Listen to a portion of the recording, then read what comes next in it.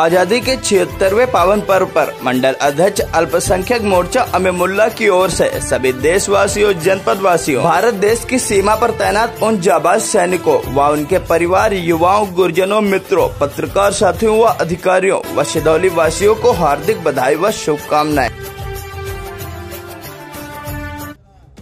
स्वतंत्रता दिवस से पहले भारत विभाजन की विभीषिका की याद में पूरे देश में बीजेपी जुलूस निकाल रही है। बीजेपी नेता और कार्यकर्ता देश के सभी जिलों में तिरंगा लेकर मौन जुलूस निकाल रहे हैं और भारत के विभाजन के काल की विभीषिका को याद कर रहे हैं। इससे पहले पार्टी के कई बड़े नेताओं ने विभाजन की विभीषिका को याद करते हुए ट्वीट किए। पीएम मोदी ने ट्वीट कर लिखा कि आज विभाजन भयावह स्मृति दिवस पर मैं उन सभी लोगों को श्रद्धांजलि देता हूँ, जिन्होंने विभाजन के दौरान अपनी जान गंवाई और हमारे इतिहास के उस दुखद दौर में पीड़ित सभी लोगों के लचीलेपन और धैर्य की सराहना करता हूँ।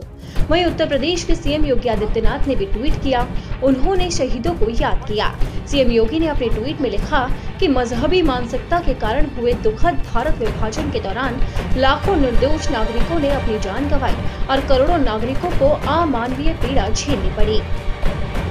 आपको बता दें कि विभाजन विभीषिका दिवस के कार्यक्रम के दौरान पूरे देश में स्वतंत्रता संग्राम सेनानियों की मूर्तियों और महापुरुषों की मूर्तियों के आसपास स्वच्छता का कार्यक्रम किया जाएगा।